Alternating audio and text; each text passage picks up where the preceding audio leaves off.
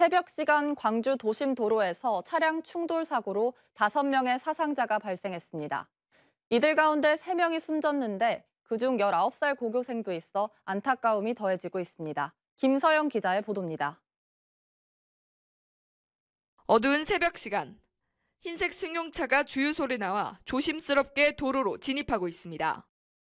갑자기 엄청난 속도로 달려오던 검정색 승합차가 승용차를 들이받자 100m 가까이 날아갑니다.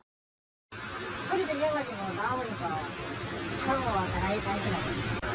저 차량 그 차라고 봤는데 이쪽은 풀이 있었는데 이거 중간에 오늘 새벽 4시 10분쯤 광주 광산구 신가동의 한 도로에서 검정색 승합차와 흰색 승용차가 충돌하는 사고가 발생했습니다.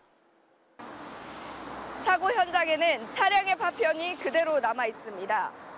직진하던 SUV 차량이 주유소에서 나오는 승용차를 발견하지 못하고 충돌해 사고가 난 겁니다.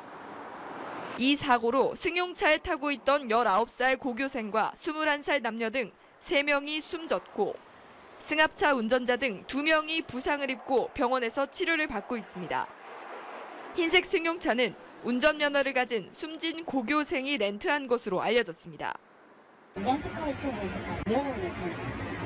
충전을 하러 왔다가 충전 영업이 안 하니까 여기를 안 들어오고 서 있다가 다른 데를 가려다가 생각한 것 같아요. 사고 당시 두 차량의 운전자 모두 음주운전이나 무면허 운전은 하지 않은 것으로 파악됐습니다. 경찰은 승합차 운전자와 CCTV 등을 토대로 정확한 사고 경위를 조사하고 있습니다. KBC 김서영입니다.